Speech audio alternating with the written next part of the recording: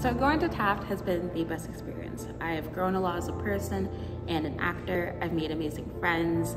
My confidence has gone up so much. I have a lot more trust, not just in myself and my abilities, but I was really scared at first to trust my coaches sometimes, even though I know that they're very good at what they do. It was hard to let myself just completely go, but they were absolutely amazing and putting my trust in them was the best experience. They helped me just be the best version of myself and I couldn't ask for a better experience. Now I'm a lot more confident in myself and my abilities and I carry myself with the confidence that I didn't have before.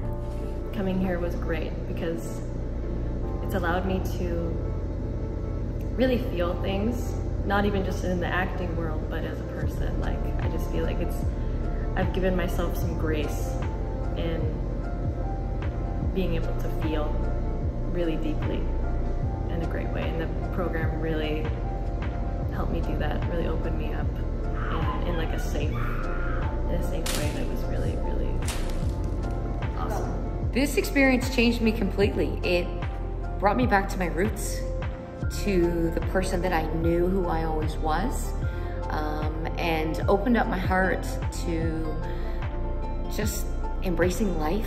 What most people tend to do, including myself, is we go through life really quick and we tend to bury things and not deal with them or think, oh, I'll deal with it tomorrow. No, acting actually teaches you to deal with things on a day-to-day -day basis in the best way possible. The camera can tell everything. Like when you're looking at the camera, the camera looking at you, the camera you can see the if it's fake or it's or if it's real. You have to feel it to be it. And then when you be it, the camera show that you're you're that character, you're that, that person that you want to be for that day.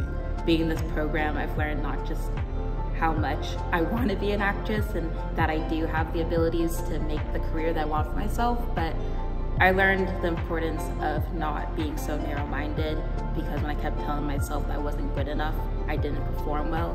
But then if I just gave myself a few minutes to cool down and not think as much, I would do the scene even better than I could have imagined doing it. Everyone just felt so safe with each other, which was really nice to see and to experience as well. I think it really helped, like the environment that the school created just alone, um, really allowed everybody to step out of their comfort zone and just experience what was happening to them.